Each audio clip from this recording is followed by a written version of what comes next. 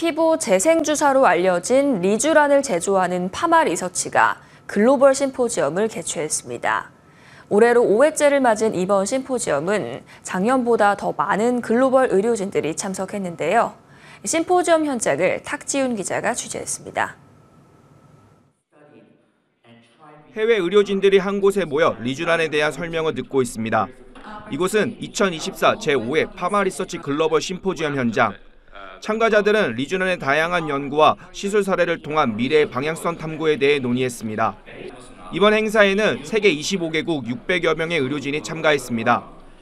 지난해보다 더 많은 의료진이 참가한 이번 세미나에서 리쥬란의 글로벌 인기를 체감할 수 있었습니다. 한국에서 가장 그 인기 있는 스킨 부스터로 성장을 했고요. 어, 한국에 있는 여러 가지 스킨에 대한 어떤 그런 그 기대감 그런 것들이 어, 증명이 돼서 많은 분들이 사용했고 그 효과들이 어, 퍼져서 리쥬란이 세계적으로 유명한 어떤 스킨 부스터가 된 것 같습니다. 강기석 파마 리서치 대표는 이를 발판 삼아 더욱 성장해 나가겠다는 계획입니다. 올해가 다섯 번째인데요.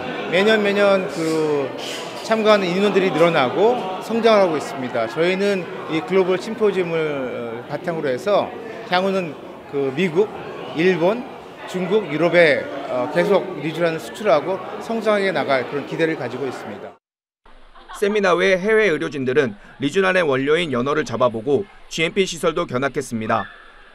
파마 리서치는 연어 생식 세포에서 추출한 DNA를 이용해 의료기기와 의약품, 화장품 등을 개발 생산합니다. 파마 리서치는 이번 세미나를 통해 원료를 어디에서 어떻게 채취하고 제조됐는지 직접 해외 의료진과 바이어들에게 보여준 겁니다. Today, we're just so lucky and honored to have the opportunities to be here, um, courtesy of Pharma Research, to to see how things are being manufactured in the background, and it kind of like it's great to know where the product comes from and how sterile and scientific all this has been produced. 글로벌 시장을 개척해 나가고 있는 파마 리서치 제품력을 인정받으며 빠르게 성장하길 기대해 봅니다. 머니투데이 방송 탁지훈입니다.